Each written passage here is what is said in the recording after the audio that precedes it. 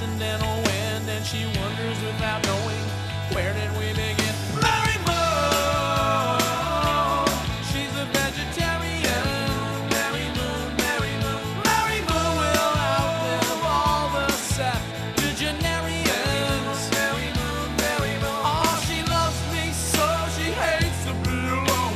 Don't eat meat, but sure like the bone.